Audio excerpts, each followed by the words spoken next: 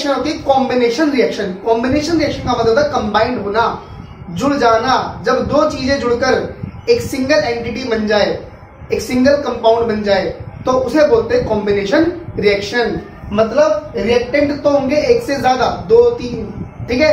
चार but product कितने बनेंगे? सिंगल तो ऐसी रिएक्शन को हम बोलेंगे कॉम्बिनेशन रिएक्शन ठीक है?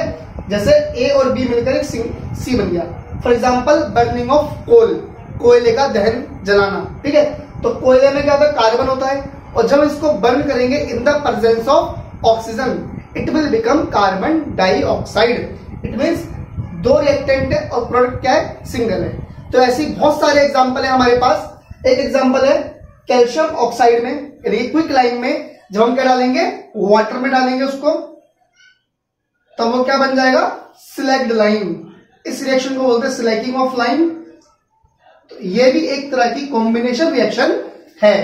ऐसी hydrogen and oxygen combines to produce water it is also an example of combination reaction ठीक है?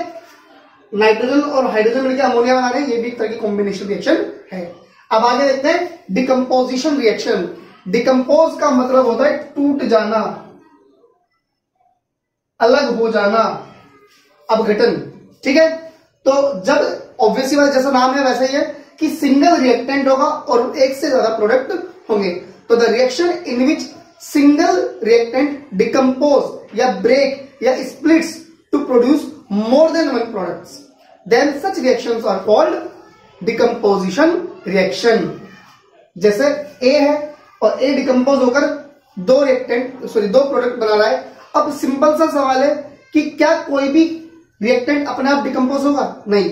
We need to provide some type of energy तो उसी बेसिस पर डिकम्पोजिशन रिएक्शन तीन तरह की होती है। अगर हम लाइट के द्वारा डिकम्पोजिशन करते हैं तो वो कहलाता है फोटोलाइटिक डिकम्पोजिशन ठीक है? और अगर हम हीट के द्वारा डिकम्पोजिशन करते हैं तो वो होता है थर्मल डिकम्पोजिशन और अगर हम इलेक्ट्रिसिटी द्वारा डिकम्पोजिशन करते हैं तो होते हैं इलेक्ट्रिकल डिकम्पोजिशन अब होता क्या कुछ सब्सटेंस बहुत शरीफ से होते हैं, बेचारे। धूप में तो डिकम्पोज हो गए। कुछ थोड़े हीट होते हैं तो ना थोड़ा गर्म करना पड़ता है। अब कुछ ज़्यादा ढीट होते हैं तो ना भैया शौक दे दो, जैसे वाटर है। ठीक है? तो एग्ज़ाम्पल देखते हैं। पहले बात करेंगे हम फोटोलाइटिक डिकम्पोजिशन की। ठीक है? तो दो एग्ज़ाम्पल है सिल्वर क्लोराइड जब हम इसको हीट करते हैं या सनलाइट की प्रेजेंस एक्सपोज करते हैं तो ये डिकम्पोज होकर सिल्वर बनाता है और क्लोरीन गैस बनाता है। तो क्लोरीन तो गैस बनकर उड़ जाती है और हमें उसमें मिलता है ग्रे कलर का सॉल्यूशन ठीक है ना? और ये सिल्वर ब्रोमाइड है। और जब हम सिल्वर ब्रोमाइड को एक्सपोज करते हैं सनलाइट में तो ये भी डिकम्पोज होकर बनाता है सिल्वर और ब्रोमीन ये जो एरो है इट मीन्स ये वेपर वेपराइज होकर उड़ रहे हैं, ठीक है ना? ये गैसेस फॉर्म में उड़ रहे हैं। और सिल्वर हमें मिल जाएगी ग्रे कलर की। और इन दो रिएक्शन का use black and white photography में होता है। तो एग्ज़ाम में क्वेश्चन आ सकता है। Give the give an example reaction which is used in black and white photography तो आपको इन दोनों में से कोई एक एग्जांपल देना है। ठीक है? अच्छा अगला क्वेश्चन ये भी है कि वाई एजीसीएल या silver chloride silver bromide should be kept in dark बोतल हमें इनको नॉर्मली डार्क बोतल में रखना चाहिए, क्योंकि अगर इनको जरा सी भी लाइट एक्सपोज लाइट में एक्सपोज हो गए तो ये डिकम्पोज हो गए डिग्रेड हो गए, कुछ और क्या, यानी कि सिल्वर बन जाएँगे। बट हमें ज़रूरत किसकी होगी? सिल्वर क्लोराइड की। तो therefore we need to kept these chemicals silver chloride and silver bromide in dark bottles ठीक है बच्चों? अब आगे बढ़ते हैं। Thermal decomposition decomposition by heat तो देखते हैं कौन कौन से एग्ज़ाम्पल है। पहला एग्ज़ाम्पल है कैल्शियम कार्बोनेट यानी कि लाइम स्टोन तो जब हम लाइम स्टोन को हीट करते हैं, ये सिंपल हीट क्या है ट्राइंगल जो बनना। तो बनता है कैल्शियम ऑक्साइड और क्या बनता है? कार्बन डाइऑक्साइड ठीक है? एक एग्ज़ाम्पल है फेरस सल्फेट ये सॉलिड है। ये मिलेगा हमें फेरिक ऑक्साइड और ये दोनों गैस बनकर उड़ जाएँगे। इसका कलर होता है ग्रीन कलर तो आपको कलर भी याद रखने और इसका होता है रेड ब्राउन कलर। ठीक है? बैलेंस हो रखी है, आपको सिखा रखी है बैलेंसिंग एसिड नाइट्रेट ये होता है कलरलेस और it decompose to produce lead oxide yellow residue and nitrogen dioxide जो होते हैं ब्राउन फ्यूम्स और प्लस में मिलती है ऑक्सीजन जो हवा में उड़ जाती है। ठीक है? अगला electrical decomposition decomposition by electricity ठीक है? तो कुछ केमिकल ऐसे होते हैं, जिनको हम सनलाइट में रख दें तो डिकम्पोज नहीं होंगे। उनको हीट करेंगे तो भी डिकम्पोज नहीं होंगे। तो ऐसे सब्सटेंस को डिकम्पोज करने के लिए हमें किसकी ज़रूरत पड़ती है? इलेक्ट्रिसिटी की। तो उसे बोलते हैं इलेक्ट्रिकल डिकम्पोजिशन ठीक है? जैसे वाटर में जब इलेक्ट्रिक करंट पास करेंगे, इन उसमें थोड़ा सल्फरिक एसिड डाल देते हैं, क्योंकि प्योर वाटर जो होता है, वो बैड कंडक्टर या पुअर कंडक्टर होता है इलेक्ट्रिसिटी का।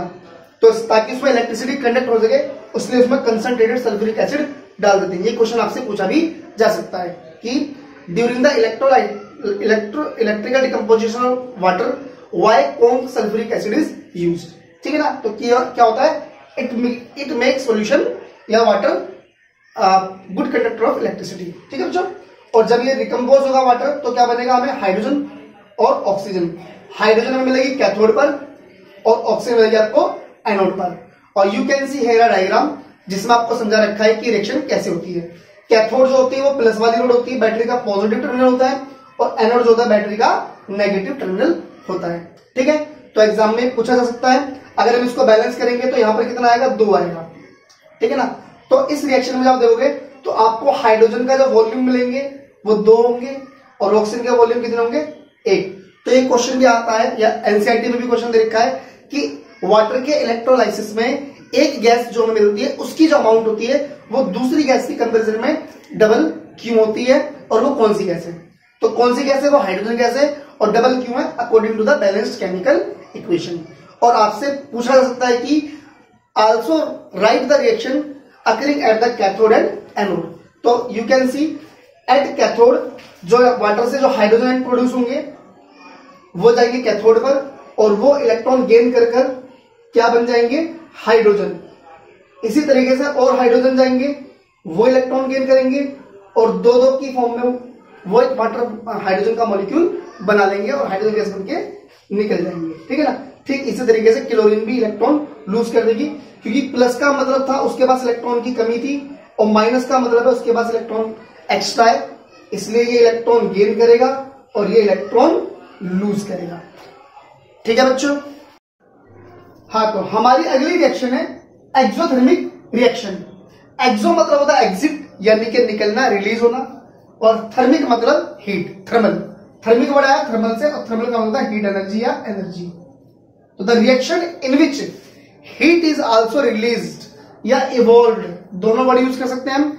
तो ऐसी रिएक्शन को हम बोलते हैं एक्सोथर्मिक रिएक्शन यानी कि the reaction in which heat energy also evolve along with the products यानी कि ऐसी अभिक्रियाएँ जिनमें उत्पाद के साथ साथ ऊर्जा भी बनती है, उन्हें हम उष्मा क्षेपी अभिक्रिया या एक्सोथर्मिक रिएक्शन कहते हैं।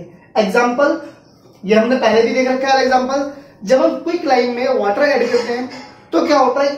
सिलेक्ट लाइन बनता है और प्लस में क्या निकलती है? हीट निकलती है। तो ध्यान से इस रिएक्शन को देखिएगा।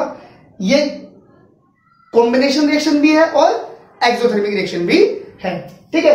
ऐसी डिकम्पोजिशन ऑफ़ वेजिटेबल मैटर जो साग सब्ज़ियाँ जब सड़ जाती है, जब इनका डिकम्पोज होता है तो उस समय भी उनसे हीट रिलीज़ होती है। तो वो भी एक एग्ज़ाम्पल है एक्सोथर्मिक रिएक्शन का। और अगला एग्ज़ाम्पल है बर्निंग ऑफ़ फ्यूल्स हम कोई सा भी ईंधन जलाएँ LPG CNG petrol diesel etcetera any ठीक है ना?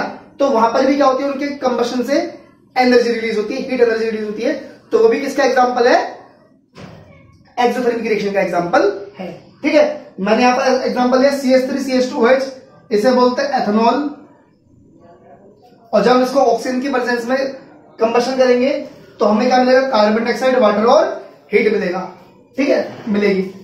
अगला है respiration respiration is also an example of exothermic reaction respiration में क्या होता है? हमारी बॉडी में जो फ़ूड होता है सेल्स में जो फ़ूड होता है जब हम ऑक्सीजन इनहेल करते हैं तो वो ऑक्सीजन हमारी सेल्स में जाती है फ़ूड को डिकम्पोज करती है, यानी कि उससे रिएक्शन करती है, और उससे रिएक्शन करके निकलती है एनर्जी जो एटीपी की फॉर्म में होती है, जिसको अपने मैकेनिकल वर्क्स में या ग्रोथ करने में या और भी बहुत सारे वर्क है, उसका एनर्जी का यूज़ करते हैं। ठीक है? अगली रिएक्शन है एंडोथर्मिक रिएक्शन एंडो मतलब होता है एंटर यानी कि एब्जॉर्ब करना या रिक्वायर करना। ऐसी रिएक्शन जिनमें एनर्जी रिक्वायर एनर्जी की रिक्वायरमेंट होती है। यानी कि जब तक हम उनको एनर्जी ना दे, तब तक वो रिएक्शन नहीं हो सकती।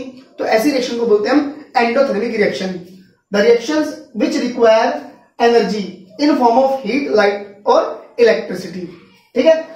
एग्ज़ाम्पल क्या? ऑल डिकम्पोजिशन रिएक्शन आपने भी पहले, अभी थोड़ी देर पहले हमने क्या पढ़ी थी? डिकम्पोजिशन रिएक्शन तो हमने देखा था किसी भी केमिकल को डिकम्पोज करने के लिए हमें उसे एनर्जी देनी पड़ती है।